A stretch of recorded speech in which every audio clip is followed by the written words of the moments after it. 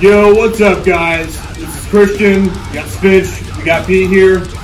Today, we'll be bringing you a new riff. It's called the Cowboy Killers riff. And we just built an entire garden of Cowboy Killers.